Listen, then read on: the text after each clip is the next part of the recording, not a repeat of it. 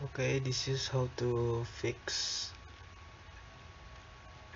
uh, max input vars PHP setting max input must be at least 5000 so here I'm using Moodle uh, version 4.0.11 this test must be passed.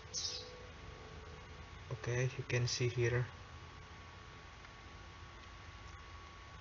to change max input vars you can either set it in php.ini uh, or modify event runtime. For example for apache you can create dot htaccess file.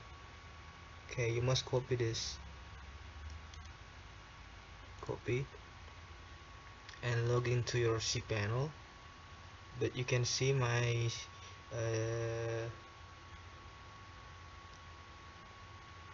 my cPanel uh, doesn't allow me to edit uh, my PHP here. There's nothing a PHP editor.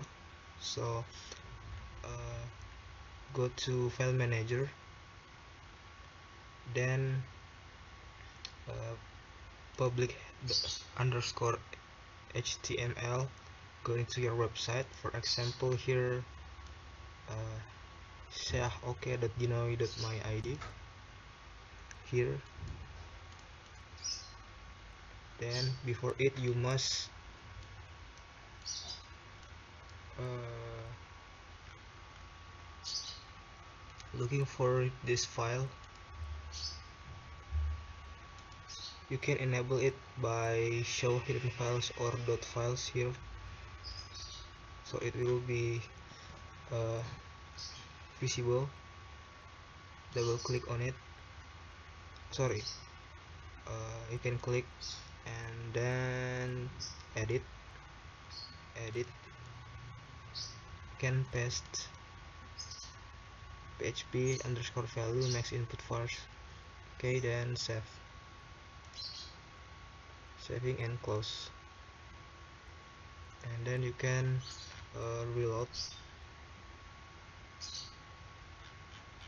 okay as you can see your server environment meets all minimum requirements. Can continue.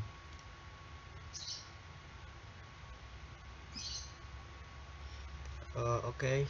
Uh, maybe that's all. Thank you for watching